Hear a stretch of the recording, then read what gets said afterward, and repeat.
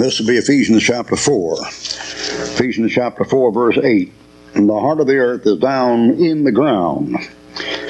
Uh, Ephesians 4 8. Wherefore he saith, When he ascended up on high, he led captivity captive and gave gifts unto men. Now he that ascended, what is it but he that also descended first into the lower parts of the earth? All right, then there's two more. The first these in Acts chapter 2, because Christ in the similitude said, As Jonas was three days and three nights in the belly of the whale, so must the Son of Man be three days, three nights in the heart of the earth. And the heart of the earth in Acts chapter 2, you'll find the location is hell. Uh, Acts chapter 2, verse uh, 27. Because thou wilt not leave my soul in hell, neither thou suffer thine Holy One to see corruption. Verse 31, he seeing this before spake of the resurrection of Christ, that his soul was not left in hell, neither did his flesh see corruption. So although his body goes into the grave, his soul goes into hell, and hell in the pastures in the heart of the earth. Now come to Jonah chapter 2, and here's how you know that. Because the the illustration he gave was as Jonas, as Jonas was three days and three nights in the heart of the earth in the whale's belly, so must the Son of Man be three days, three nights the heart of the earth. But look where Jonah was. Jonah chapter 2, verse 1. Then Jonah prayed to the Lord his God out of the fish's belly. There's his body. But then he says, I said, I cried by reason of mine affliction the Lord. He heard me out of the belly of hell, not a whale. Out of the belly of hell cried I. There's his soul. So they're two different places. The way that thing works is you've got a this place they call Sheol, and sometimes hell is not the same thing as the grave. You get a thing like this. You get a thing where the grave up here look, looks like this in Hebrew. That's called kebarim. Looks like that. A grave in uh, in Greek looks like that, Mayan. Now you don't have to know that to see what I'm going to say, but I only put that up there to show you there's a difference. Because this thing down here is called Sheol. Looks like that. And this thing down here has one place called Hades, Hades, and another place we talked about last night, that message called Abraham's bosom, over here, like this.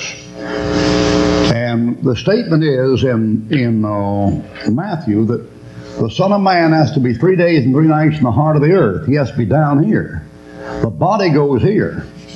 That's in the grave and his flesh doesn't see corruption, but his soul doesn't go there. Uh, the body goes there. And then he says, Father, in thy hands I commend my spirit. His spirit goes there. Then his soul was not left in hell, his soul goes down here. And comes through here and ascends on high and led, leads captivity captive. So the statement is, he that ascended on high and led captivity captive, he that first descended into the lower parts of the earth. And his soul was not left here, it went up. All right, he said, three days and three nights. Now that Jewish night begins in the evening. And that thing, you get that from uh, Genesis. And the evening and the morning for the first day and the evening and the morning were the second day, and the evening and the morning were the third day. So a Jewish day doesn't begin at 6 o'clock uh, like ours does. A Jewish day doesn't begin at, at midnight. Now, your day begins at midnight, 1201, that's your day. That's a Gentile day. And you get that from the fact that in one gospel he says Christ was taken out to be crucified about the about the uh, ninth hour. That's nine o'clock in the morning. Another passage says there was darkness over the earth from the sixth to ninth hour. That can't be the same system of time. He's taken out to be crucified at nine. The darkness doesn't come three hours after he's crucified and occur at six. So obviously somebody using two systems of time. And one system of time is Roman time. When he says out about the ninth hour to be crucified, that thing is coming from 12 o'clock midnight. That's Roman. So he goes out there at 9 o'clock in the morning to be crucified. When he says there was darkness over the earth from about the 6th to ninth hour, obviously that's Jewish time, and that thing began at 6 o'clock in the morning. So 6, 6 the 6th hour would have been 12 noon. So from 12 noon till 3 p.m., the darkness over the face of the earth. Now, you see, the Bible has its own system and defines its own system. It's uh, what, uh, what think it says immaterial. All right, now because of that, a Jewish day begins with evening. All right, you have Christ crucified here on Wednesday. And he's crucified here on Wednesday, and then he goes in this tomb Wednesday night. That'll be Wednesday night. That'll be Thursday night. That'll be Friday night. That'll be Saturday night. And that'll be Sunday night. But the way that thing works is this Thursday begins 6 p.m. Wednesday. Friday begins 6 p.m. Thursday. Saturday begins 6 p.m. Friday. Sunday begins 6 p.m. Saturday. In words, when he says the first day of the week, he's talking about early in the morning, the first day of the week. Well, that first day of the week began 6 o'clock Saturday night.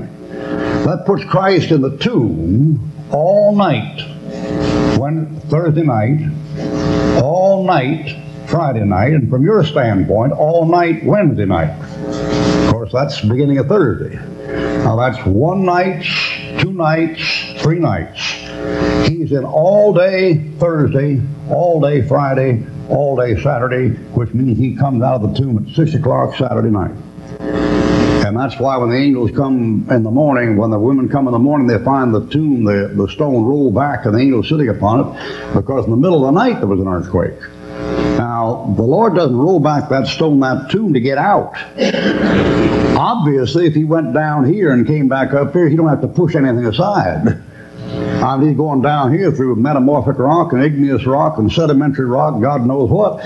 He don't need his stone pushed out of the way. The stone's pushed out of the way so they can look in the tomb to see he's not there. So the thing is a literal three nights, one, two, three, and a literal three days, one, two, three, and out there. So my teaching is simple. My teaching is a book says what it means, even says. Three days, three nights. All right, something else. Yes, sir. And that story of Balaam in the, in the book of Numbers, uh, I'm a little confused on that. Here was a great preacher and a prophet. Uh, God spoke to him. He gave one of the greatest revelations in the Bible. Yeah, did. Uh, he, and then in, in one of the chapters, uh, I think it's 23, he also says that the Spirit came upon him. Right. He's got to be living in some kind of an age of grace, right? He doesn't know the Mosaic law. Probably not. Uh, when he, Peter tells us he went to hell. Yeah. Uh, he must have been living under some kind of an age of grace as a preacher that would uh, correspond to Romans 1 and 2? Or not? Yeah, it's a Gentile thing, like Wondering, uh, Conscience. This type of grace, uh, I know you can't lose your salvation uh, in uh, in the church age, but I'm just wondering uh, what happens to preachers who don't preach what God tells them to preach in this. Well, so I've got a work called The Unknown Bible, and one of the chapters in that is on the fundamentalist who went to hell. and the fundamentalist who went to hell is Balaam. I come number Numbers chapter 23. Now, of course, that's tongue in cheek. I mean, uh, you're you're saved by grace through faith, and the difference between you and Balaam is real simple. Here in the Old Testament, it's impossible the blood of bulls and goats should take away sin. Now, even Balaam was in a great situation, his sins weren't taken away. Abraham's weren't, neither Isaac, neither Jacob. Ja- Hebrews chapter 10 says it is impossible the blood of bulls and goats should take away sin. But something else is wrong. Balaam is not in the body of Christ. Balaam is not spiritually circumcised. Balaam is not born again. So he's in a situation where if he messes up, the Holy Spirit who speaks through him can leave him like he did Saul and some others, then he's in trouble. All right, now, everything he said about Balaam is true. Come to Numbers chapter 24, and he's a man who speaks by the Spirit of God. lifted his eyes and he saw Israel abiding in their tents according to their tribes, and the Spirit of God came upon him.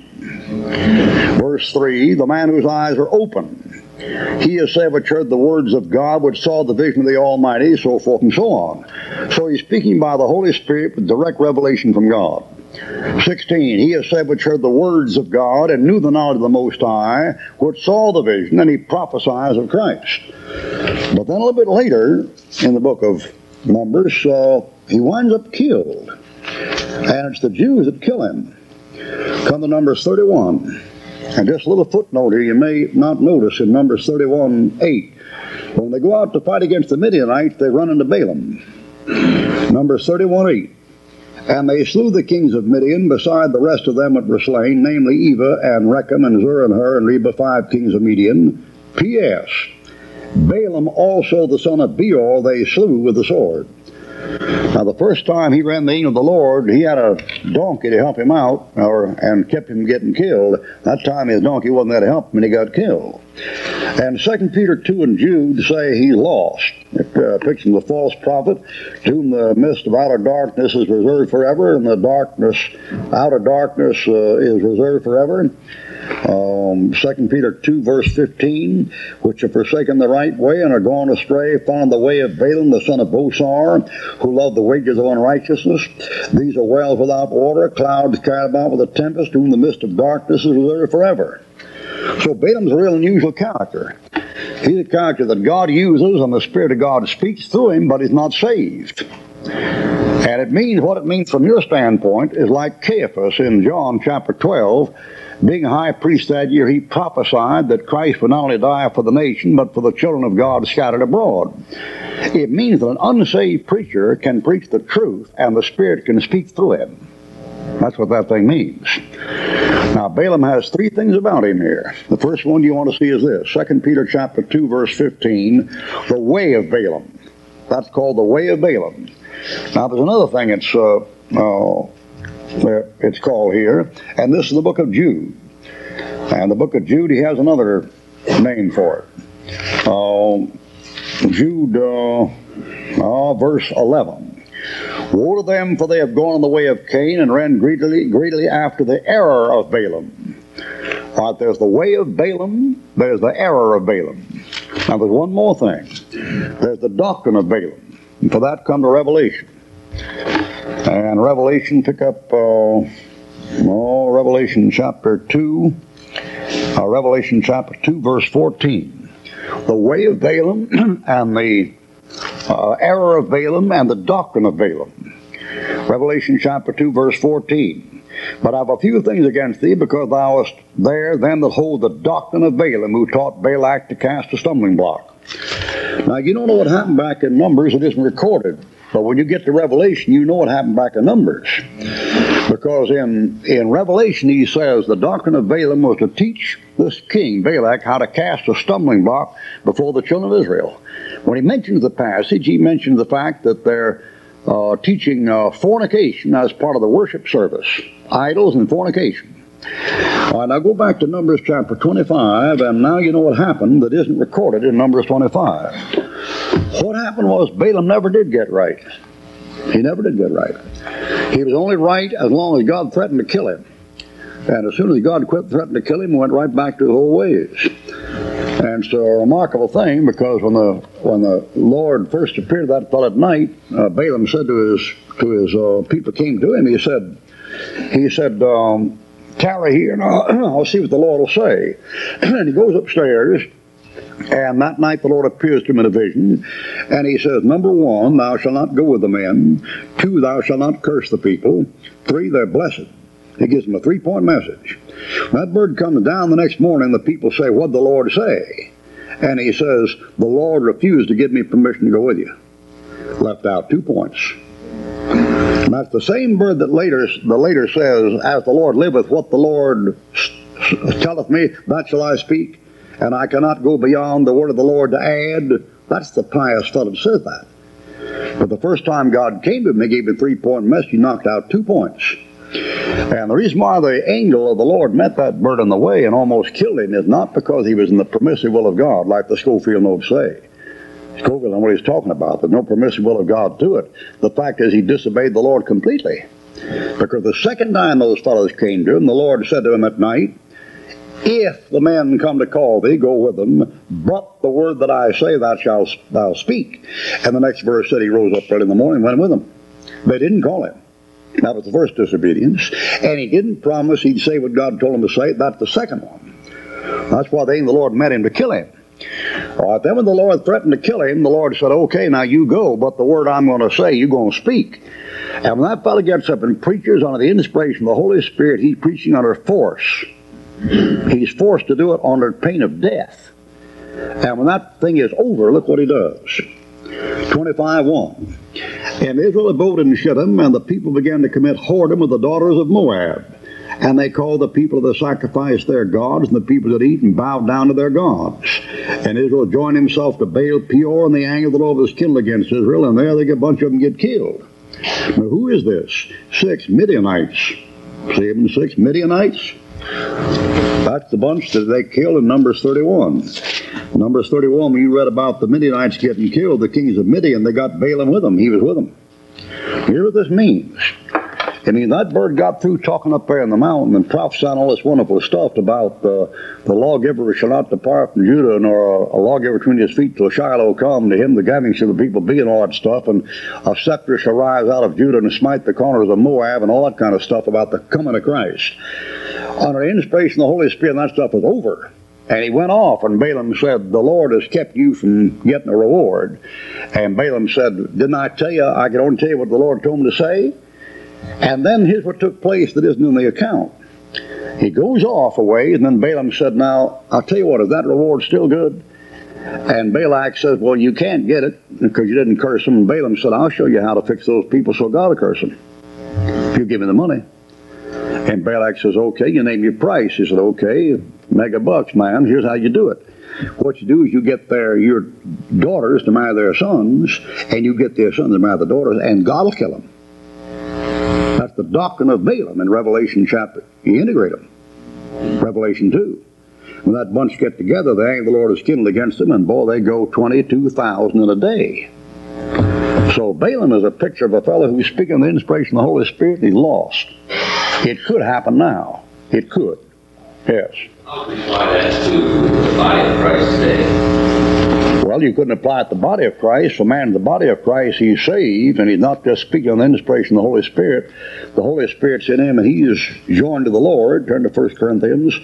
And he's part of the Lord, and he couldn't lose it like Balaam lost it. Uh, 1 Corinthians chapter, 1 Corinthians chapter uh, oh, uh, 6, 1 Corinthians chapter 6, verse 17. A man in the body of Christ is something else. Of course, Balaam's not in the body of Christ. Uh, 1 Corinthians chapter 6, verse 17, he that is joined to the Lord is one spirit. The man in the body of Christ, the Holy Spirit's in him, he's in the Holy Spirit, and he's part of Jesus Christ. It'd have to be a fellow outside the body of Christ, but the Holy Spirit could speak through him. Yes. So it would speak, it would speak though to pastors today that are preaching from a pulpit that aren't saved. It could if they weren't saved. That's true. Yes, sir. That's true. Yes, sir. Yeah, a liberal, a modernistic preacher can uh, preach the truth. A busted clock can be right two times a day. okay, something else. I have a hypothetical question. All right. Uh, in Matthew 11, it says, uh, if you believe, uh, Romans 14, John says, that Christ says, uh, if you believe, John the Baptist would have been Elijah, if you'd received. Now, if they would have received, he would have been Elijah. Yes. Uh, My hypothetical question is, would Paul been the Antichrist and saying he breathed out threatenings daily against the church?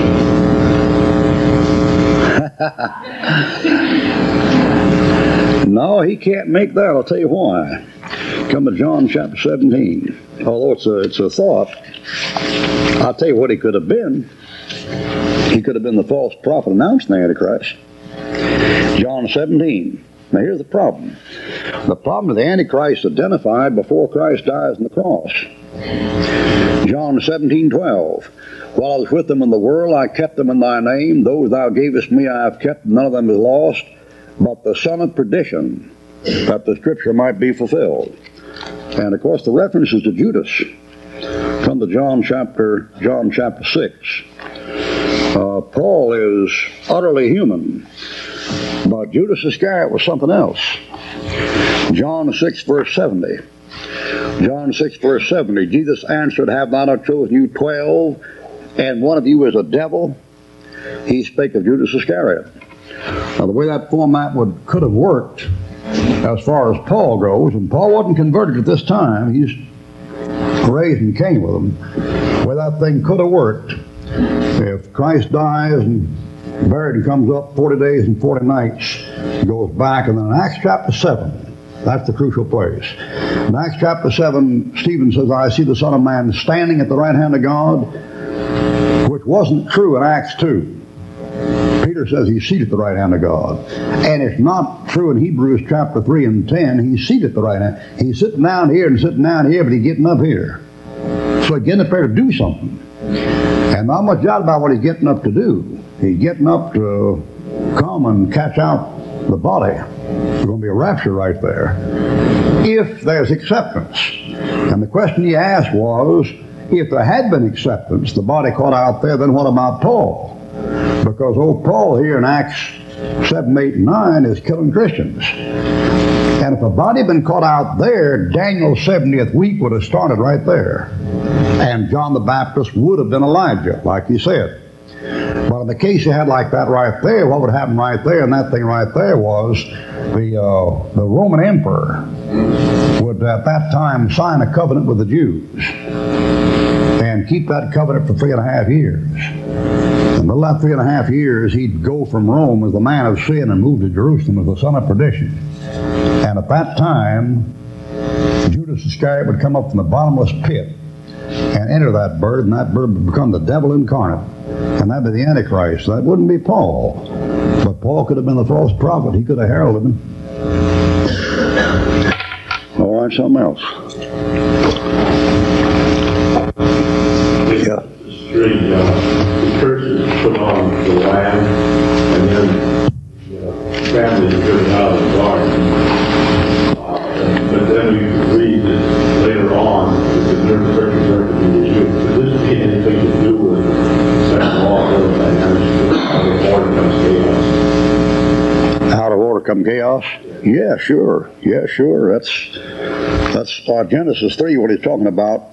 Uh, Genesis three, and uh, compare that on the condition of the land. There, compare Genesis three with Amos nine, and that law of entropy works everywhere. That thing is, evolution is not a law. Evolution is what you call a horse laugh. The word evolve means to unroll, if you want to know what it means. And the more a thing unrolls, the less it gets. So the word evolution is a hee-haw. It's a joke. I got a book at home by a fellow who who is he's a uh, young fellow's a PhD. He thinks he's real smart, and he got a book to prove prove that men will turn into computers and they'll get immortality by being an immortal computer machine. And uh, of course, I, I guessed all that. I mean, eight years ago, I wrote a book called Science and Philosophy, and then I've got the end of that thing. I've got uh, uh, uh, Rudolph the Red-Nosed Robot, and uh, and machine, the measure of all things. What man is going to do, he's going to invent a machine that's smarter than he is, and then worship it, and trust it to guide him and show him what to do. You see? An image of a beast. Oh, now this entropy, entropy, what he's talking about entropy is this. The second law of thermodynamics teaches this. It teaches there's always less energy to work with than there was before, and there's always a dissipation or disintegration of energy so that you never have as much left as you had before to work with. Now it's still there. It's resident, but it's ineffective. It's like water going over a waterfall. As you can't create, destroy matter, that's the first law of thermodynamics, so you don't do away with the energy but it's placed in a place where you can't use it. And that entropy means a dissipation of energy that's continuous until finally everything comes to a low, flat, dull, colorless mush. And that's the law of reality. That's reality. And that's all through the Bible. The thing he's talking about on the ground is the same type of thing. What we're going to look at here is a, is a disintegration of the earth until the Lord comes outside the closed system and comes in and injects new energy into the system. My, this thing is so is so. You talk about you talk about a book being heavy, man, and truthful. There's nothing like a Bible. There's nothing like a Bible. And you think I'll stop. Uh, I'll get in this thing in a minute. But you think you think a fellow who had a used car would understand this principle. I mean, how a man could think believe in evolution with a used car is impossible to imagine. Now you take you take our bodies. Let's let's just face it. How's the best way to, to stay in good health? Don't eat. I mean, carbohydrates will kill you if you get too much of them. Protein is bad for you, and roughage will kill you if that's all you get. And if you get the right balance, you'll fall apart anyway. I mean, the best way to live forever is just quit eating and starve to death. you see, you see this body. When I'm born, there's an in there's an influx of energy. That's the creation. From that time till now, I die. You say you develop. Yeah, but you don't evolve. And when you're developing, you've got to keep putting the stuff in your mouth. You think a fellow could get that? Uh, the way you stay alive is you keep putting stuff in here. See? And it, and it goes turns into energy. And as you get older and older, it gets slower and slower to turn into energy. And you have to do more and more exercise to burn it up and eat less and less, keep putting on the pounds. It's a law. It's, it's what it means is evolution is a joke.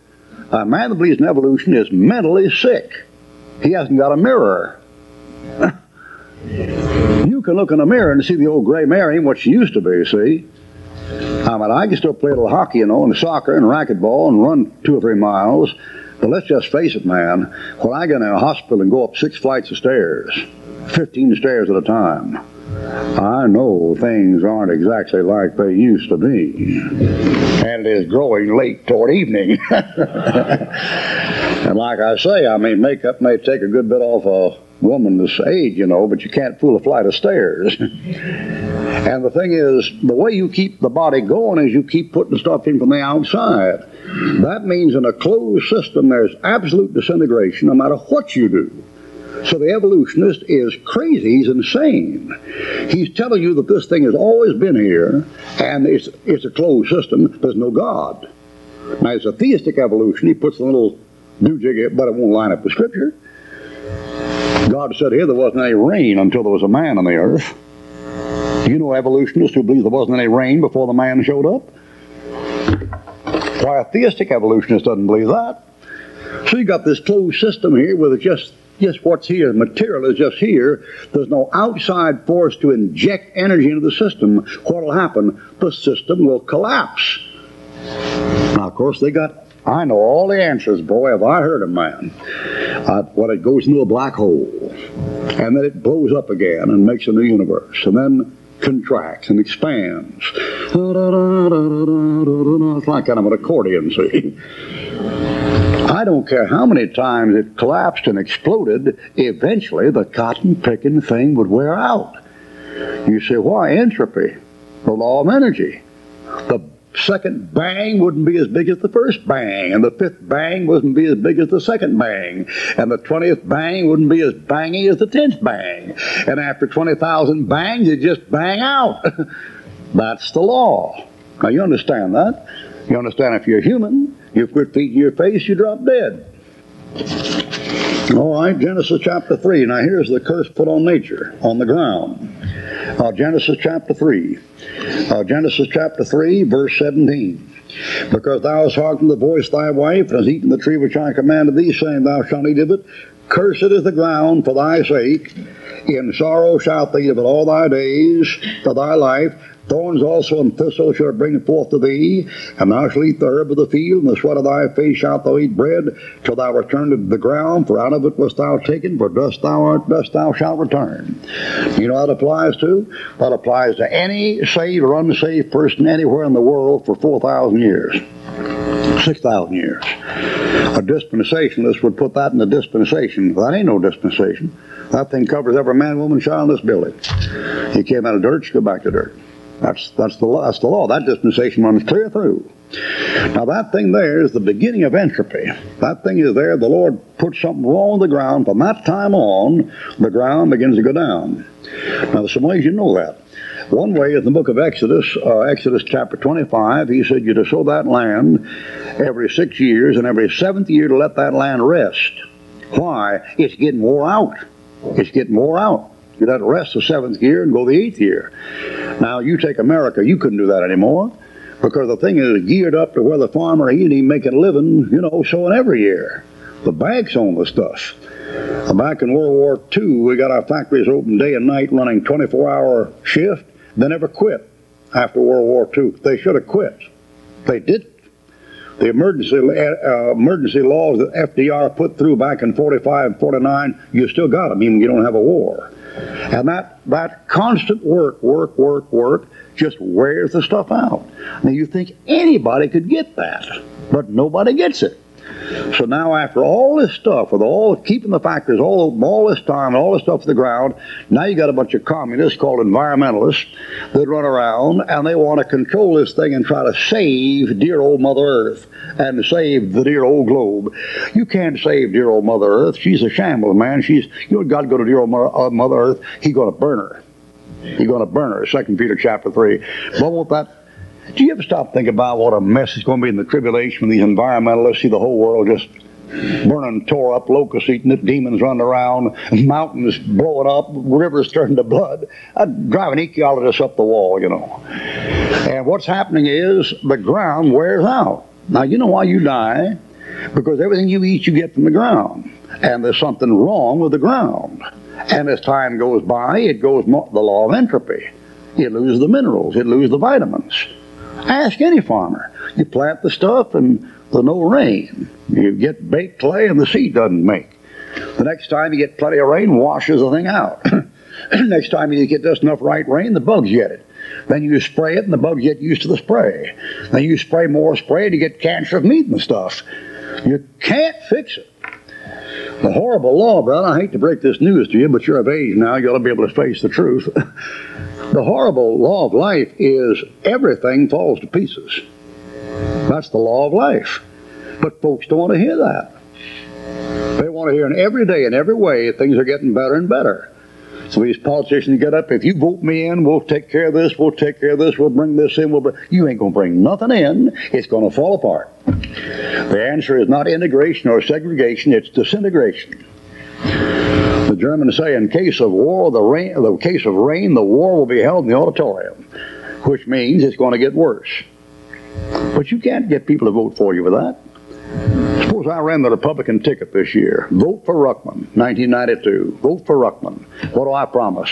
I promise chaos, disintegration, catastrophe. Well, who'd vote for you? People want to dream, you see. All right, Amos chapter 9. Bob Jones Sr. says, prepare for the worst and hope for the best. Amos chapter 9. I know how to fix it. Vote for me. I'll tell you how to fix it. Get Jesus Christ to come back. He'll fix it. You know what happens when he comes back? There's a new influx of energy. And then it starts back over again. You know what happens then? It runs down. the thing is incurable. Do you, ever, do you ever read the Bible not, I didn't mean to get preaching, but it gets holy after a while. They start at the top, you see. They start in a perfect condition. Now, come on, boys. What could be more perfect than married uh, to Miss Universe and have no competitors?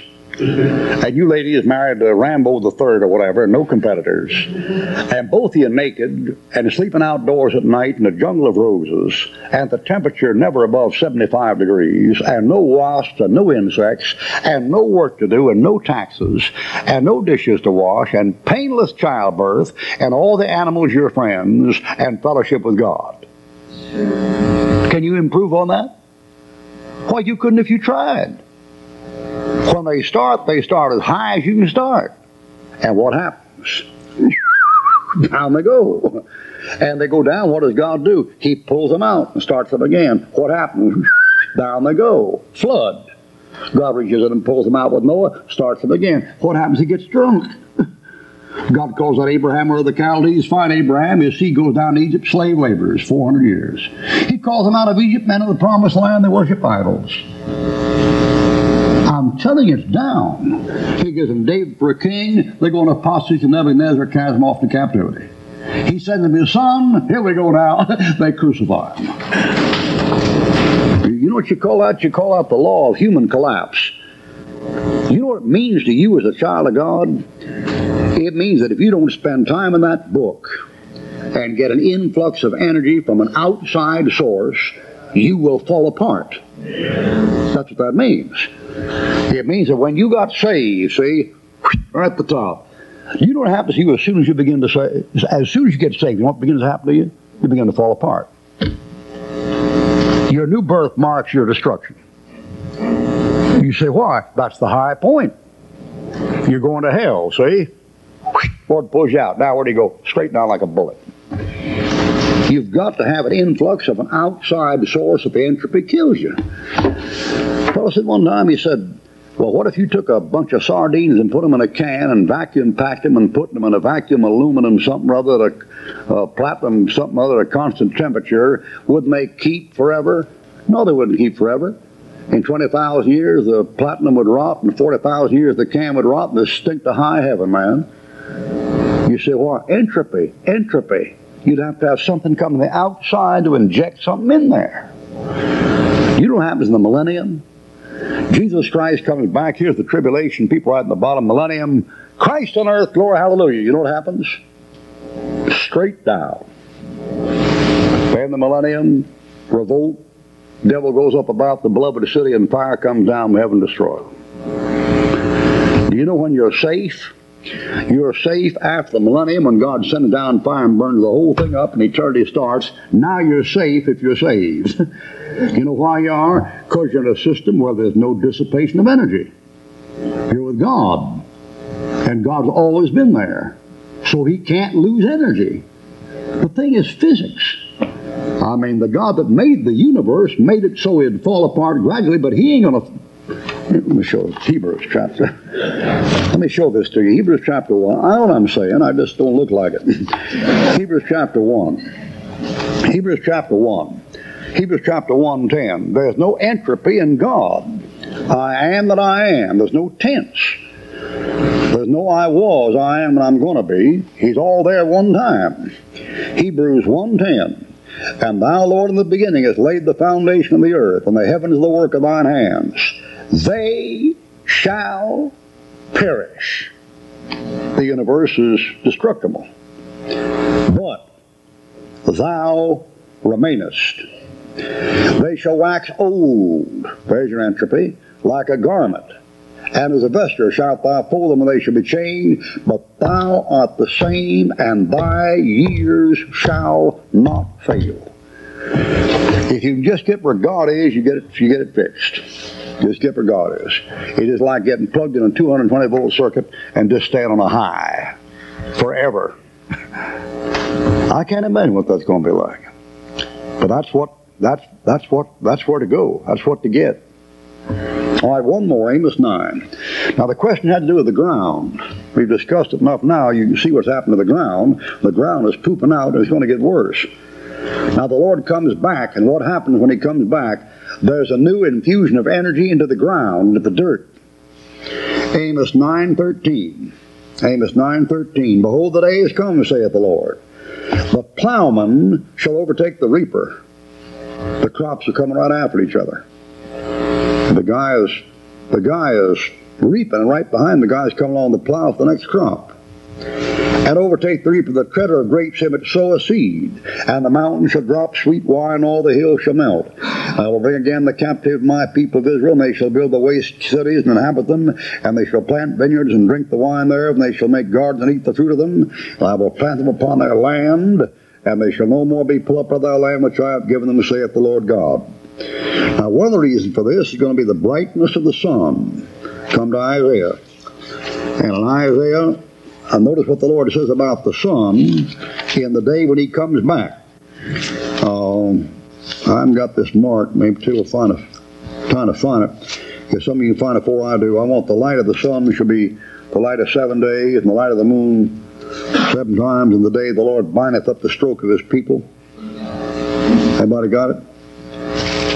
I don't have a marked Bible here. I I, I, I steal these out of the motel when I have a meeting. It's, it's a Gideon Bible out of the motel I'm using. Doesn't have any marks in it. But if I had more marked Bible, I could find it in a minute. All right. 30, what is it, bro? All right. 3026. Yeah, that's it. 3026. Moreover, the light of the moon shall be the light of the sun, and the light of the sun shall be sevenfold, as the light of seven days, in the day the Lord bindeth up the breach of his people. Look at that influx of energy. Seven times what you got right now. All the energy in this life comes on this earth, physically comes from the sun. It'll be seven times what you got right now. More energy coming in. So there's something coming in there to stop the entropy. But after a thousand years, away we go again. I told you last night, see? The answer is God. The answer is God. The rest of the stuff is temporary. It's temporary. Okay, something else. I don't mean to get in that long thing there. It gets running off with you, after, gets walking off with you after a while. Anybody, go ahead. One question for you. Yes, sir. Noah's commission was the same as Adam's to replenish the earth. But Adam's commission was replenish also. This is another hypothetical question. What was before Adam? All right. Now, for that, come back to Genesis. Notice these two words the same in the King James Bible. And by the way, they're not the same in any other Bible. Uh, Genesis chapter uh, Genesis chapter one on one hand, and Genesis chapter nine the other. Uh, these days, the hobby horse at Bob Jones University is what they call King James onlyism. That's a little cliche invented by Bob Jones III. He has two things. He has Ruckmanism and King James onlyism. Those supposed to be heresies. So you put the ism on them. Like Mormonism, you know, and, and that kind of thing. And so the idea is if you believe the Bible, you're a Ruckmanite. That makes you a cult. And if you're King James onlyism, then you're this horrible cultic heresy that accepts only the King James Bible. And that's the talk of a fool. If you see him, tell him I said so, and uh, he knows where I live. And he can come down anytime. We'll pay his way down and back. And uh, King James onlyism means that you go by the King James Bible and don't accept the other Bibles. Now, folks, I'm going to tell you something. If you use a King James only Bible, you have access to truth that you cannot find in any other Bible. That is null. You have access to truth that you can't find in any other Bibles. For example, if you have a King James Bible that says, study to show thyself approved unto God, and that isn't in any other Bible. There's no Bible in the market that says, study to show yourself proven to God. There isn't any. Except King James. Now, if you're King James only, is, you got the truth. If you're anything else, you got a lie. I call that dead duck otherism. That's my name for it. they teach a heresy called dead duck otherism. now, here's a case here. If you picked up any Bible but a King James Bible, here's what you'd read Genesis 1 20, uh, 128. But God blessed them, and God said to them, Be fruitful and multiply and fill the earth. Not replenish. Replenish implies redoing something, something that's been done before. So when they remove that, they remove the key to the question he asked about from the Bible. Genesis 9 1. If you had any of the Bible but a King James, you'd read this. And God blessed Noah and his son, and said to them, Be fruitful, and multiply, and fill the earth. But your King James says replenish, which means to redo something. Plenish, plenitude, was filled up, and you redo it. It was filled up one time, you fill up again. Now that's a key to something in the Bible you can find only in this Bible. And if you have any other Bible, you can't find it. There's a lot of things like that. For example, last night that message I quoted you a verse, which you may or may not know was in any Bible. It's called, he said, the love of money is root of all evil. That isn't in the Bible, unless you got a King James Bible. There are no Bibles that say the love of money is the root of all evil, except this one. So if you're King James onlyism, you have a truth, and if you're not, you've got a lie. I'll tell you another one. This book here says in 1 Thessalonians chapter 5, verse 21, it says, abstain from all appearance of evil. There are no Bibles that say that, except the King James. A whole bunch of them. I give you 10 dozen of them just like that. If you're going to go just by King James, you've got access to information that nobody else has access to, but has access to 50 other translations. If you, you say, how do you know? I've got them down at the, at the school. I teach my kids Berkeley, Moffatt, Weymouth, Goodspeed, Centennial, Phillips, Wuest, RSV, New RSV, ASV, New ASV, RV, CEV. I teach my kids 26 translations. We know what's in them. Strange, strange age we live in. You pick up a article in the Sword of the Lord. Here's a full page ad in the Sword of the Lord that says, Come to Hyles Anderson. We use nothing but the King James Bible in our classrooms. You never saw an ad like that in the bulletin. Isn't that strange? Look at Bob Jones and get in the pulpit to preach, and this little sign down there hidden where the congregation can't see it.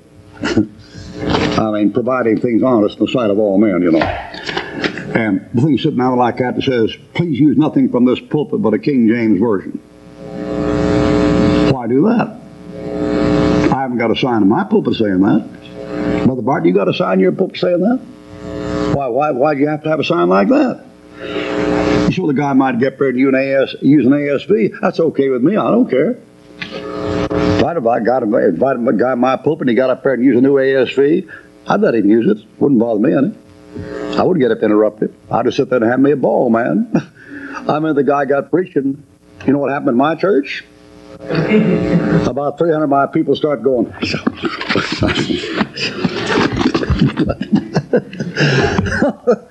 I fellow no, he's in the wrong pew real quick. Now, if you have a King James Bible, King James only, you've got something replenished. All right, I'm going to give you two passages, and then I'm going to draw it out for you if I can and try to make it clear. Get Psalm 82 and get Job 30, 38. Psalm 82 and Job 38.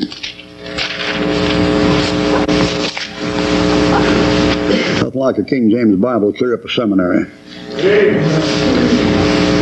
All right, uh, Job 38 and Psalm 82. All right, first of all, I'm in Job chapter 38, beginning at verse 4. Job 38, beginning at verse 4. Now, he's asking Job some questions, and he says this Where wast thou when I laid the foundations of the earth? That's Genesis 1 1. Declare thou hast understanding. Who hath laid the measure thereof, if thou knowest? Who hath stretched the line upon it? Whereupon are the foundations fastened, or who laid the cornerstone thereof? Now watch it. When the morning stars sang together, and all the sons of God shouted for joy. There are sons of God there in Genesis 1 1. All right, Psalm 82. Psalm 82, verse 1. Psalm 82, 1 God standeth in the congregation of the mighty, he judgeth among the gods. Verse 5 They know not, neither will they understand. They walk on in darkness. All the foundations of the earth are out of course. Something went wrong with the earth. I have said are gods, said that to somebody, and all of you are the children of the Most High, but you shall die like men. As a contrast. He said, Somebody, you're gods, but you're not going to die like gods, you're going to die like men. Now, you don't say, I have said you're cats, but you shall die like cats. you got to get something that's, uh, that's disjunctive. you got to get a thing like, I have said you're cats, but you die like fleas. Or I've said you are horses, but you die like dogs. They're not the same kind. Now, you said, I have said you're gods, but you're going to die like men. So those things are two different things. Now, the surest way you know that that replenished there in, in, in Genesis chapter 1 is a reference to a population of some kind before Adam is this. And this is a strange thing. But what you do is study Adam as a type of Noah.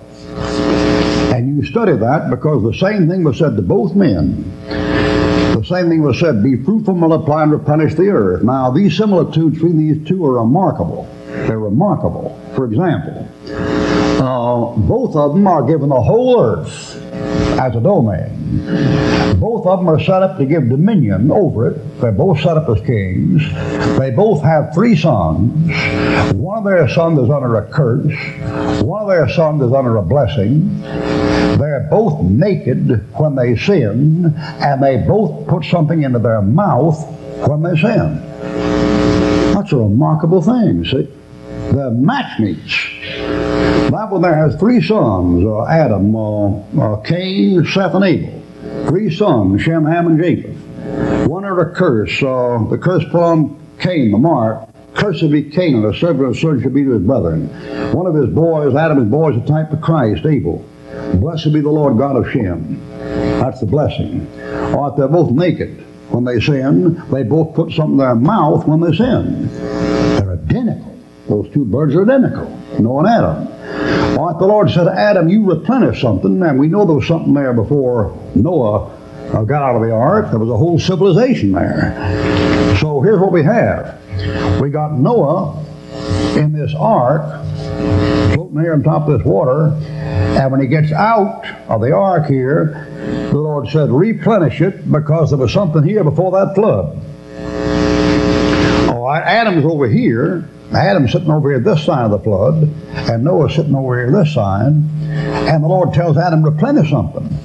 And there had to be a flood over here. And something here before there. Turn to 2 Peter chapter 3. And there's that flood. And that flood is not Noah's flood. 2 Peter chapter 3, begin about verse oh, two or three there. Know this in the last days, scoffers shall come, saying, Where is the promise of his coming? What verse is that? Three and four. Our second Peter chapter 3, 3 and 4. Know this also in the last days, perilous times, scoffers shall come, walking after their own lust, saying, Where's the promise of his coming? For this they willing hear of, uh, all things continue with the word from the, from the uh, beginning of the creation. For this the willing eager know that the heavens were of old, the earth standing in the water, and out of the water, the earth that then was, being overflowed with water, perished.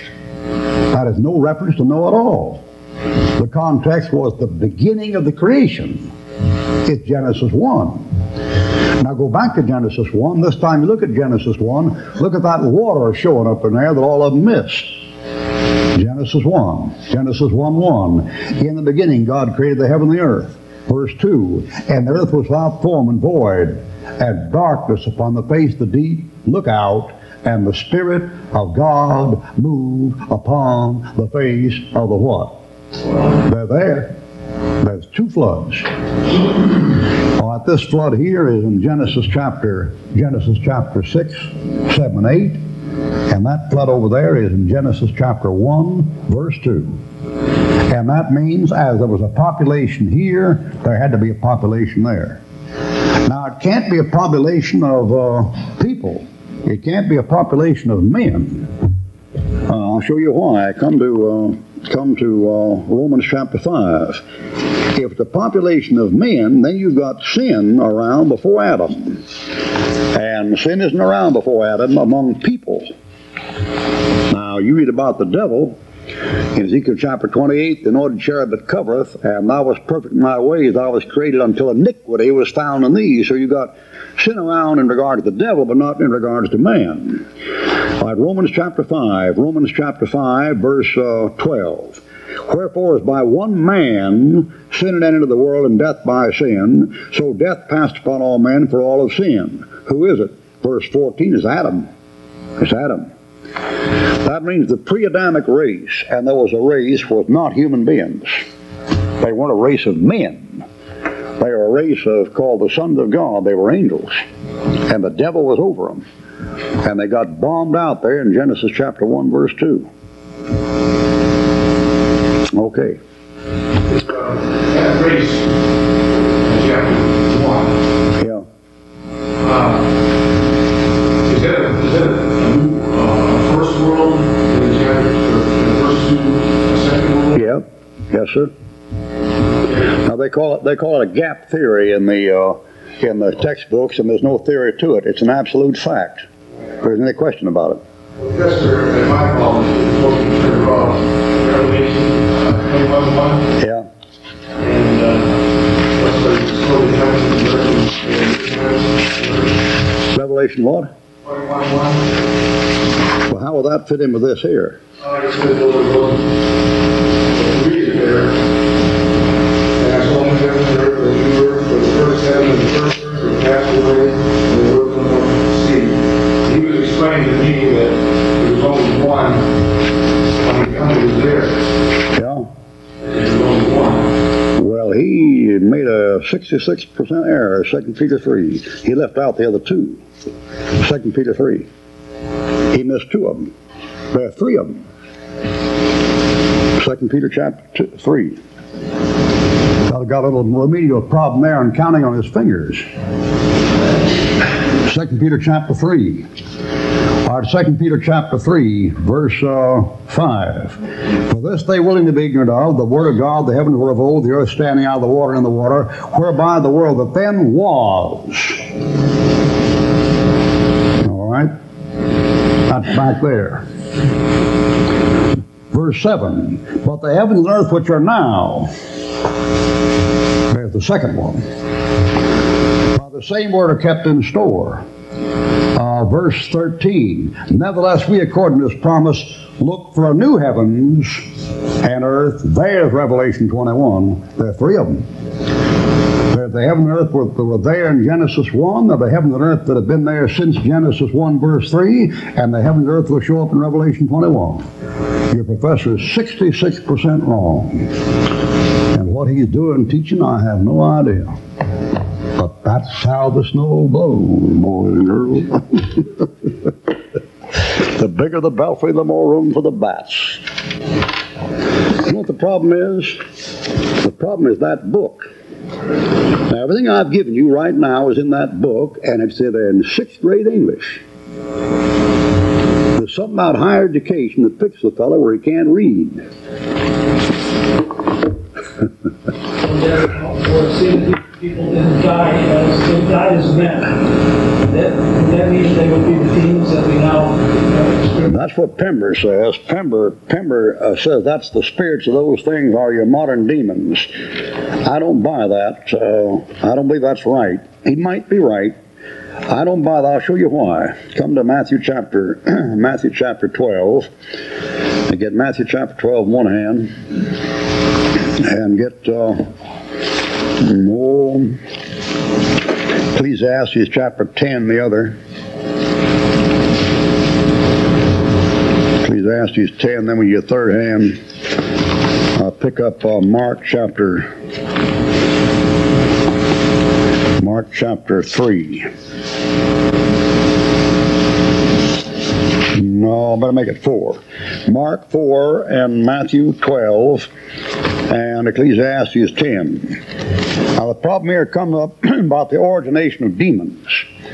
There are several things they can't be, and Pember connects them with the fallen angels. I don't connect them with fallen angels because every angel, as far as I can tell in the Bible, is a 33 year old male. That's why they're called sons. And uh, they don't have any wings. And these demons are something else. All right, Mark chapter 4, Mark chapter 4, verse 3. Mark 4 3, hearken, behold, there went out a sower to sow. And it came to pass as he sowed, some fell by the wayside. Now watch it. And the fowls of the air came and devoured it up. Birds. Interpretation. Verse 15. These are they by the wayside where the word is sown, but when they have heard, Satan comes. What Satan? His birds, fowls.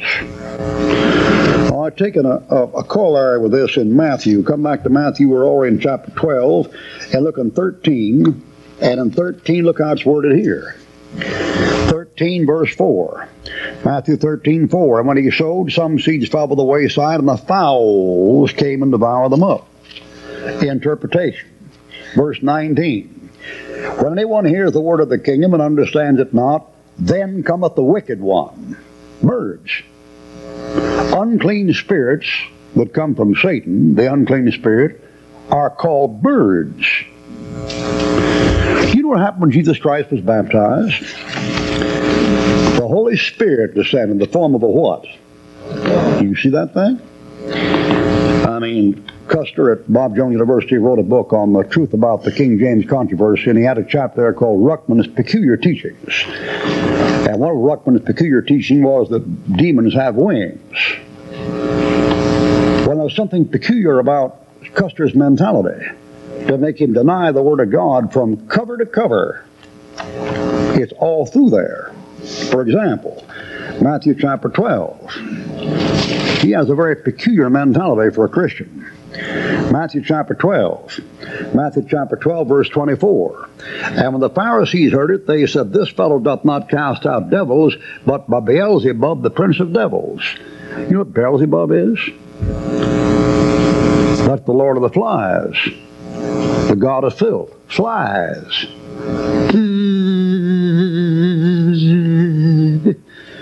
They say he's got a bee in the bonnet.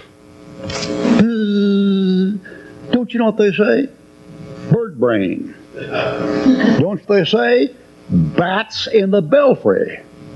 See that stuff? Now you take that fly, that thing hangs out with filth. What does that mosquito do? It sucks blood. You know how many demons the maniac of Gadara had in him? A thousand. They couldn't be angels. They'd have to be as small as mosquitoes. The things are winged. Ecclesiastes chapter 10. This one of the Bible's peculiar teachings that a PhD at Bob Jones can't understand because he's stupid.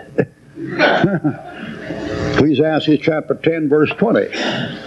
Curse not the king, nor not in thy thought, and curse not the rich in thy bedchamber.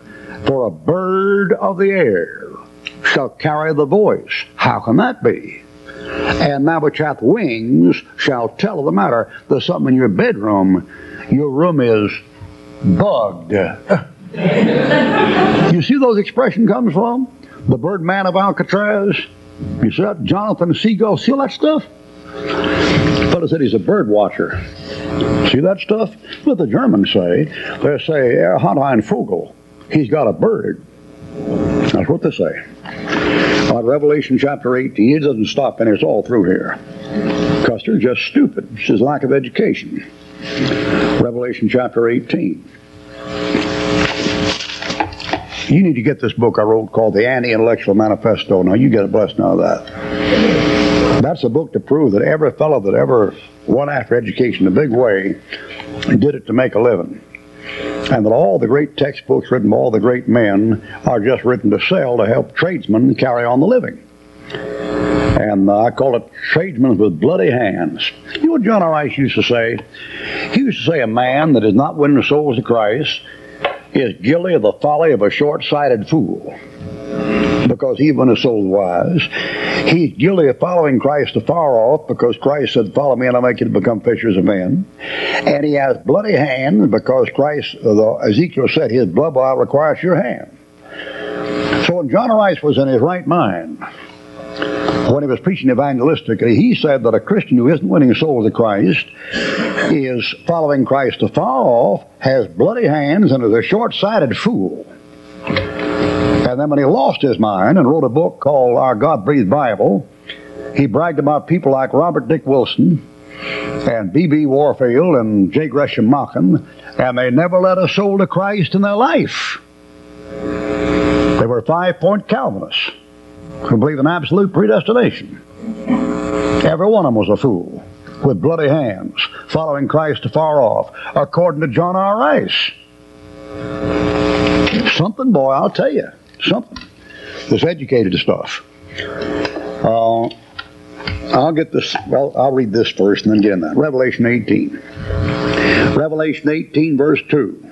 And he cried mightily with a strong voice, saying, Babylon the great is fallen, is fallen, has become the habitation of devils, the hole of every foul spirit, and the cage of every clean and hateful what?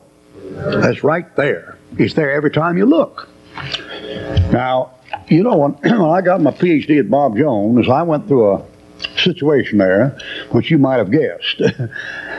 I mean, when I went off to Bob Jones, I wasn't a bright little, neat, uh, sweet, clean cut young man, 18 or 19 or 20. I was like an old bull moose coming off the ranges, man. I was 27 years old, and I'd had years in dance bands and bar rooms and beaches and brawls and DI in the infantry and God knows what. And I came in there, they didn't know what they had a hold of. They had a hold of bad news, man. And I came there and sat down, and I didn't swallow all that stuff. But I came in there, and the time came to get my doctor's uh, dissertation. You know what I wrote on? I wrote a book on practical theology in the light of the book of Acts. That was my dissertation. You know what that dissertation, the thesis of that thing was? The thesis of that thing was if a man is not trying to win people to Christ, if he's not making an effort to do it, he's a heretic. That was the thesis. The thesis was I don't care how much orthodoxy the man professes. If he's not actively engaged in trying to win people to Christ, he's heterodox. He's a heretic. You can imagine how that went over with the faculty and the staff at Bob Jones. Bless my soul, none of which led a soul to Christ in 50 years. I was in a preacher's boys class of 1,200 students under uh, Gilbert Stenholm, and Stenholm, teaching 1,200 young preachers, had never been an evangelist or a pastor or a missionary or a rescue superintendent. What could he teach us? Bless your soul, honey, I've set up three independent Baptist churches from nothing. Want to set up a church? I can tell you how to do it. I've set up three of them from nothing. And I've worked for years in rescue missions, full time evangelist, 12 years. And I'm sitting there, this knucklehead getting up there teaching 1,200 preachers. You know what he's talking about? Just talking and talking and talking. Don't win the souls of Christ. And I wrote that thesis. And when when I when you write a thesis, you have to have a doctoral dissertation and you have to defend your thesis before a board of doctors. My board was a man named Dr. Whitty and Dr. Payne, Dr. Brokenshire. They were all five point Presbyterian amillennial Calvinists. That's what Bob Jones Sr. had in his staff up there until I graduated. After I graduated, he dumped them and got him some premillennial Baptists, but that's a late move on his part. Anyway, this was 53. The time came to get that PhD. My faculty advisor called me in, Dr. Payne, Barton Payne, and he called me and he said, Your thesis is not satisfactory. I said, Why not? He said, You don't refer to enough, enough original source references. And I said, That's called the length of the thesis. I said, I've got plenty of first source references, original references in the 20th century. I had to resort, to secondary sources for back in the first, fourth, fifth, sixth, seventh century. He said, Well, that won't do. It has to be academic and highly scholarly. And I said, uh, Well, did you write a thesis? And he said, Yes. I said, Let me see your thesis. So Peyton took, Dr. Barton Payne took out his thesis. It was a thesis to prove that First Samuel uh, in the uh, Coptic comes from the Septuagint instead of the Hebrew. I looked for the thing, you know, had a bunch of language there German, French, Spanish, Coptic, Arabic, Syriac in it. And I said, See, me like your, your thesis doesn't meet the standards of Bob Jones University. He said, why not? I said, why, Bob Jones Sr. said this university has two standards one academic, one practical. I said, Your thesis doesn't look very practical. And Barton Payne said, Well, a thesis is just the beginning of a life work. It's the foundation upon which you can build. He said, For example, you might take up next uh, 2 Samuel. And I said, I fail to see the practical relevance of that. Well, I left. And when the time came to defend that thesis, Barton Payne wouldn't show up. And Whitty wouldn't show up, and Brokenshire was sick down in the hospital, dying. And so when the old man called for the defense of the thesis and three of his faculty members didn't show up, he got suspicious. And he called in Whitty and put him on the carpet. Then he found out what he had there. Whitty had been teaching the students not to ask anybody if they were saved because you were elected from eternity, so you couldn't possibly know when you were saved. And then he found out what Payne had been doing. You see, when you start getting two and three thousand people in a school, you can't keep track of what you're doing in that school. Don't you think you can? Because you can't. And he knew what he had back there. He had a he had a rat's nest back there. And he called in Payne. You know, he found out about Payne. Payne had been flunking all of his class members in order to try to flunk me and couldn't do it. Payne, for two years, had been given tests where the highest score was 65. That was my grade. And the rest of them were 35 and 40 and 45. And the bird had been had to grade on a scale in order to get the class through. He found out about that. So he shipped Payne, then shipped Whitty, and then he went down to Brokenshire, and Brokenshire was dead. He got down there, the know the in the hospital, and Brokey was dead, lying in the bathroom dead, and he'd been grading some cards, filling out report cards on his table before he died, and the last card he filled out was my card. And it had Ruckman on there, and then he had a note. This man can teach Hebrew, was on the back of that note. And Bob Jones Sr. found Brokenshire and found that note. So Senior called me and put a lot of pressure on me to stay. Plenty of pressure. Well, all kinds of pressure. But I was sour. I was sour on Junior. I knew if I stayed, I could never get along with Junior. Putting me in a cage with Junior would be like putting Larry Csonka in a cage with Tiny Tim, man. It just wouldn't work. and that fellow was just too effeminate for me. I mean, I don't say it's a fruit, you know, but but just I mean, uh, you know, just, you know, limp wrist. and we'd have never made it. So I didn't I didn't go. And you know what happened? Because that dissertation was held up, I didn't get my degree for another year. I had to come back the next year to get my degree, and came back and got it. And when I got it, lo and behold, I found two premillennial Baptists had been substituted there for the Presbyterians. And so to this day, Bob Jones University is an interdenominational school that pretends to be premillennial. It's not premillennial. Every morning at 10 o'clock in the creed, they stand up and they say, I believe in the inspiration of the Old New Testament, the creation, man, direct act of God, the incarnation, virgin birth of our Lord and Savior Jesus Christ, who died sin of mankind by shedding blood on the cross, to be salvation by grace and everlasting life, period.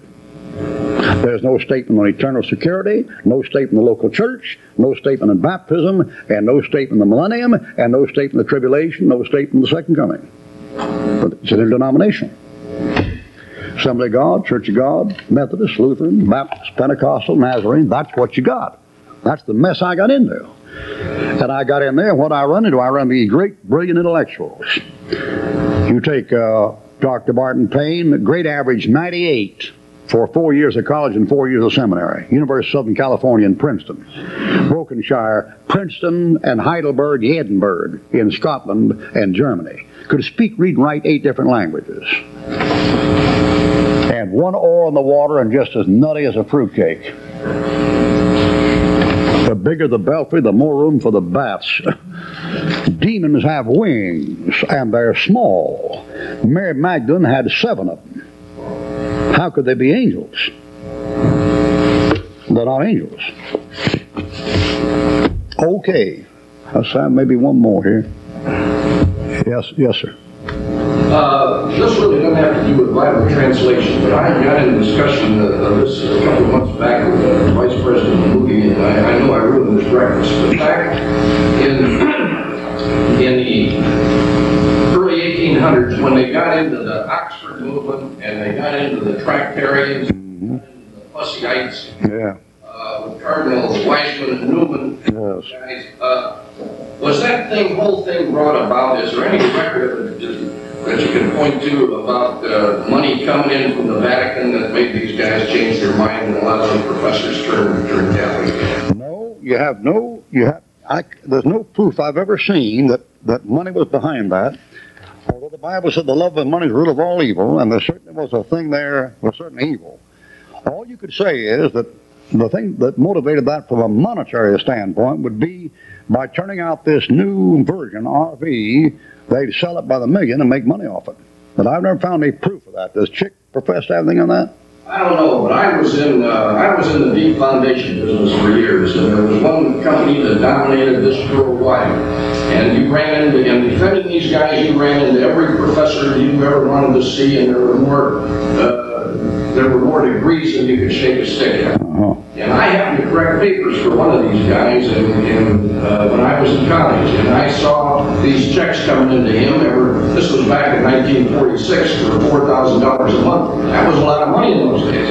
Yes, it was. Every place I ran into these guys across the country, it was the same thing. And I just, I just had a gut feeling Well, maybe, into the books of uh, well, maybe you're right. the Lockman Foundation Well, and, uh, and, yeah. uh, any, a lot of, a lot of seminaries. Yeah, maybe you're right. I don't have any proof on it, but the Bible says the love of money is root of all evil. So probably it might be it might be true. Now, from a biblical standpoint, here's what's happening biblically. You have Ephesus, and then Smyrna, Pergamus, Thyatira, you know, Sardis, uh, Philadelphia, Laodicea. You have these seven churches, and this thing here, this Laodicean thing, is roughly about 1900, and this Philadelphia thing is about 1500. What you have here is a thing that goes like this. And then Martin Luther. And then the RV hmm. down like that. And that course, and that course there is a is a course with a sudden drop off at Laodicea in Revelation chapter 3. So whatever the motive is behind that, it's prophesied it's going to take place.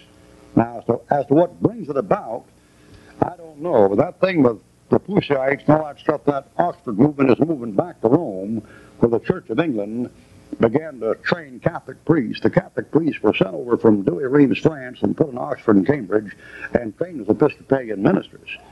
And when they were asked why they to justify that, they said, "I'm all things to all men. The ball means I might save some." And they got in there, and that RV thing is a restoration of a Roman Catholic Bible. So the Vatican could have had a buck in it, but I wouldn't know what the evidence for it is. You had one.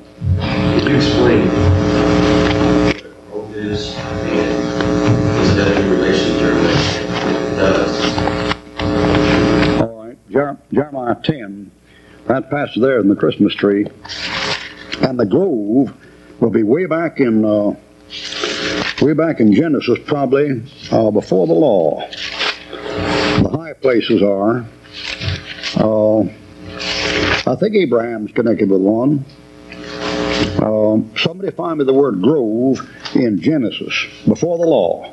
I don't have a concordance here, don't have it marked, so I haven't got it. But uh, if you got a if you got a concordance, ought to be a reference in uh, uh, 2133. That sounds like it. That's still under. Uh, that's still under uh, Abraham. Yeah, there it is. And Abraham planted a grove in Beersheba and called there in the name of the Lord, the everlasting God.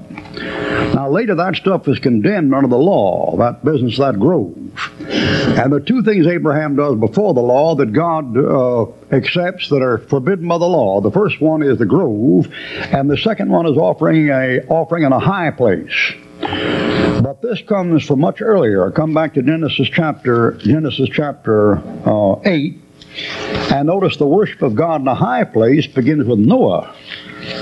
Because boy, if ever a fellow set up an altar in a high place, he set up an altar in a high place. He sets his altar up something like 14,000 feet in the air. And then from then on, from time immemorial, from then on, it becomes a habit to get in a high place to worship God. And the idea behind that, uh, kind of, the idea behind that is that uh, the higher up you get, the closer you get to God. High places. Uh, that's why all these countries have these sacred mountains. Mount Everest and Fujiyama and all that stuff. And that thing is in Genesis chapter 8, when Noah gets out of the ark, verse 18, 20, he builds an altar to the Lord. And that thing's 14,000 feet in the air. So if men on, they have a habit of sacrificing in high places, and Abraham plants a grove. All right, now come Deuteronomy 16, and here's the here's how it's forbidden under the law. 1621. Deuteronomy 1621. And this the constant theme of the prophets throughout Kings and Chronicles when they go into apostasy in Israel and Judah. Deuteronomy chapter 16, verse 21. Thou shalt not plant thee a grove of any trees near the altar of the Lord thy God, which thou shalt make thee. Neither shalt thou set thee up in any image, which the Lord thy God hateth. Now, you Yankees up here, you have a much better chance to see this than Southerners do. Although we see it a good bit around Huntsville, Alabama, and New Orleans, and a few places like that.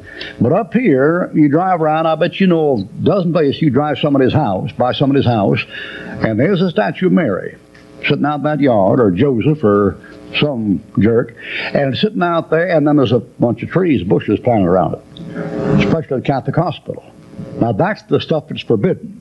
Uh, one of my friends, before he was saved, used to go around and knock heads off those statues, and then laugh at them, say, "What's the matter, Mary? Did you lose your head?" and one one time he stole a statue of Mary and stuck it in a drawer and a dresser in his house, and wrote the Lord a note and said, Dear God, if you don't send me what I want at Christmas time, I'm not going to give you back your mother. I'm keeping her. yeah, this, this bottom drawer. Now, those statues sitting around with a, with a grove around them, that's what's forbidden. Right, in Deuteronomy chapter, or Jeremiah chapter 10, this is not said to be a grove, but it is a tree which could be cut out of a grove. And he says this, 10 2. Learn not the way of the heathen, be not dismayed at the sign of the heathen, for the heathen are dismayed at them. For the custom of the people are vain, for one cutteth a tree out of the forest, the work of the hand of the workman with an axe. They're on so be on sale now the next three months, three weeks. They deck it with silver and with gold. They spray them sometime with silver and gold. They hang gold and silver tinsel on them. And they fasten with nails with the hammers that it move not. You have a little base down there you put the tree in. They are upright as the palm tree, but speak not. They must needs be born because they cannot go. Be not afraid of them, for they cannot do evil, neither can they do any, do any good. So that's the thing there, which was why some ultra separated Christians don't have any Christmas tree in their home, because of Jeremiah 10. Now, there's a couple things about that. Look at the end of verse 5. They're neither good nor bad. Paul says, Paul says, though there be many that are called lords and gods, but to us there's but one God, the Father, and one Lord, the Lord Jesus Christ. Paul says, we know we have knowledge, and we know that an idol is nothing in this world. That is, it's, it's nothing. The tree is just a tree. So it isn't going to kill you. and the second thing about it is, verse 2, they're dismayed at the signs of heaven, and you're not. And uh, they're worth putting this thing up here to worship it. That's an entirely different thing. Now, if you want to be ultra separatist, you can say, well, I'm not going to do anything the heathen do and follow their custom because it's a heathen custom. Well, okay, then go to work on Christmas Day. I mean, I have people write me and say, Ruckman, how come you observe Christmas?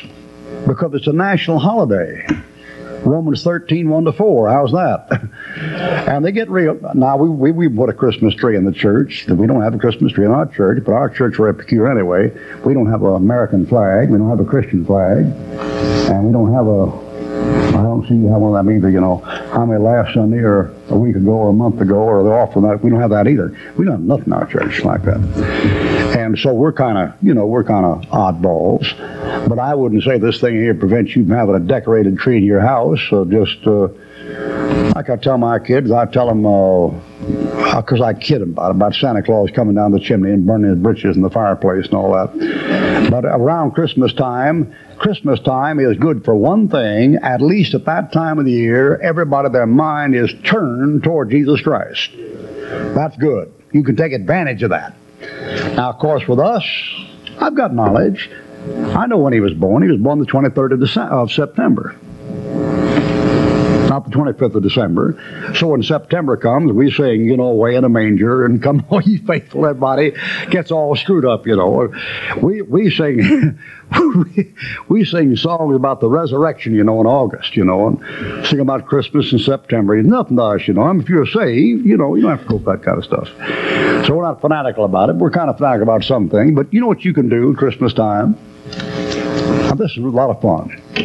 You get a bunch of young people together and go to a big restaurant where everybody's whooping it up and get you a table reserved there in the middle, a center table, see about 15 or 20 kids there. And then right in the middle of that thing, when the place is just packed, you all get up and toast. You know, all think you're drinking liquor, you know. And you toast and you sing, Happy birthday to you, happy birthday to you, happy birthday, dear Jesus. Happy, oh boy, you talk about turning the place upside down, man. I've done that, and that works. That works. So when it comes to those kind of things, we get a tree for the kids and give them the presents and let them know that uh, the Lord's paying for the presents.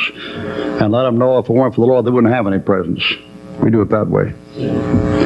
Five minutes, 12. Yes, sir. Uh, one last question. We got five minutes, 12. You told us what demons weren't. Yeah. You told us they were look like flying creatures, birds.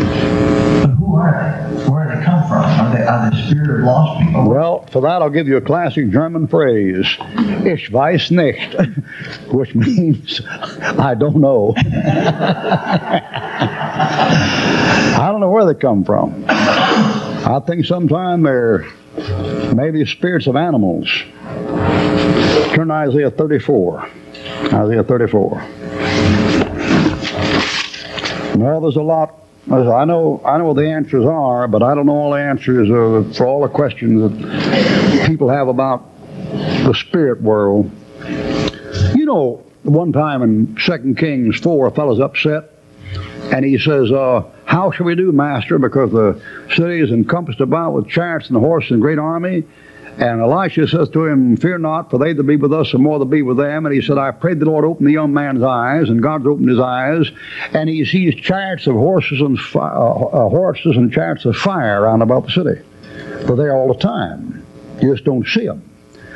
When Elisha goes to Elijah's rapture, he says, My father, my father, the chariots of Israel and the horsemen thereof, the fire, their energy, makes his angels, spirits, makes them a flaming fire. The angel goes up in the fire off the altar. That means there's stuff out there all the time that you can't see. And it's a good it's a good thing you can't see it. Uh, the Bible says in Job chapter 41, shall not one even be cast down at the sight of him, referring to the devil. In fact, if you could see the devil, you'd pass out. I mean, just figure it out. Suppose you step out this door after we get through here today and look straight up in the air, and you see a great red dragon up there, about halfway across the horizon. I mean, with seven heads and ten horns and breathing fire. You check in at the shrink. you go crazy. You couldn't believe that thing, what you're seeing, but it's there. You know, sometime you ought to come down south around uh, Pensacola and go to the Gulfarium. You don't have to go all the way to Disney World to see them. They got Gulfariums all around the country now. And those are great big uh, uh, tanks, about as big as this church, the auditorium here, and uh, oh, maybe 20 feet high. And then they have all these samples of sea life all in one place. It's the wildest looking thing you ever seen in your life. And what the Lord makes is just beyond belief. He makes stuff that just don't make any sense at all. What crazy stuff, you know. These evolutionists say, well, see how Mother Nature made this animal to blend with this. Oh, you crazy cockeye. Listen, there's, there are fish there that are red, white, and blue. They don't fit with nothing, man. They stand out like a sore thumb. There's a fish there called a sea urchin that you can't swallow without getting killed. But one fish gets it called a blowfish. He blows that thing over and it turns upside down. He eats the soft belly out of the, where, the, where the spines are. Did you ever stop thinking about that stuff? I mean, I know what evolutionist doesn't. That's because he's crazy. But I mean, did you ever stop think about that stuff? Why did God make all that mess? What's the point in it?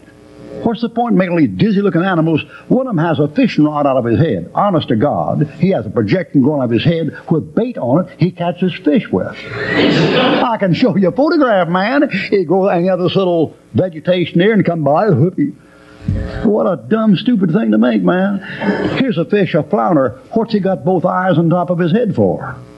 What's the point? You say you can look up. Don't the other fish have to look up? How come they can't look up? You know what, you know what a mud has? He has a gizzard. There's only one fish in the water like a bird. He has a gizzard. What's it for? Pizza fire to me. I don't know what it's for. Well, just put it in there. You said they're vegetarian. A lot of fish are vegetarian, but they don't have gizzards. And why do you need a gizzard to eat vegetables anyway? You know what's going on? I know what's going on, but it took me some time to figure it out. I mean, I was out in the woods one day and I was lying out there in the bushes waiting for some uh, turkey or something and looking down at the ground, my face about six inches from the ground. I saw these little bugs crawling around on the ground, you know, and going across leaves and stuff. They've been out there doing that for years, you know. Nobody watched them, just out kind of having a ball, you know. You know the stuff, you see a little wildflower out sitting here someplace. What's it out there for? I mean, nobody's going to see it. You say you saw it. There, there, there, there's all stuff growing all kinds of places nobody's ever seen yet. There's stuff in the bottom of the water nobody even knows it's there yet. That the Bathysphere and Beebe and that bunch and Jacques Cousteau, they haven't photographed that. What's it there for? Nobody look at it. These little bugs crawl around. What they out there for? You know what? You know what it is? The Lord's a character. The Lord's a character. You know what He does? He just goes like that. So and says, "Let's see you. Let's see you imitate this. let's see you imitate that." You know what makes a lot of stuff? Just sheer whim, caprice. The Lord makes that stuff just for His own pleasure. He makes that stuff just for His own enjoyment. You want to see how many kind of bushes there are? Plants, animals, fishes, birds. Let's see you do that. A man can't do any of it. He can't do any of it. The Lord does it. He just does that to please Himself. That's what He does that stuff for. And you get out there and you get you look in this Gulfarium and hear all this stuff swimming around here, and then you remember that there's water up there, and there's water above the firmament, below the firmament, and we wrestle not against flesh and blood, but against principalities, powers, or against rulers of darkness world in high places. There's stuff up there. There's stuff up there. If you could see it, you'd pass out. I used to think that DT, like the doctor said, was brain damage, but I'm not sure about that anymore. I used to work in a rescue mission down in Charleston. I never forget one night some fella came there. Boy, he was spooky, man. He'd been on bay rum and and uh, uh, oh alcohol and and uh, denatured alcohol and torpedo juice and rifle bore cleaner and anything he had his hand on for about a year, I reckon. And he came there and boy, he went berserk one night and he sat up there in that bed, began to scream. You could have that bird for three city blocks. We called the police and got him down there and got him the tomato juice and black coffee treatment and brought him back. I told him the next day about it, and I said, what, what'd you go sound off like that for? He said, didn't you see them bats, them bats? I said, no, I didn't see them bats. He said, well, Ruckman, he said, you know what is downtown? I said, what? He said, there's snakes around there wrapped around them buildings. And he said, they're 10 feet in diameter and have hair all over them. And somebody says, well, it's just his mind going to pieces. I don't know. I don't know. I know when you get this demon stuff, you're getting in a real strange range. On Isaiah chapter 34, now here's what I'm saying about, you remember I connect with animals? I'll show you why. Isaiah 34, verse 9. Now, there's no doubt about this context. This context, the lake of fire. And the stream thereof shall be turned into pitch, and the dust into brimstone. The land shall become burning pitch. It shall not be quenched night nor day. It's hell. The smoke thereof shall go up forever. It's hell. From generation to generation shall lay waste. Who be there? Eleven, the birds. The birds. What are they doing in the lake of fire? The cormorant, the bittern, the owl, the raven. Those are unclean birds. They're in Leviticus 11. Every one of them is an unclean bird.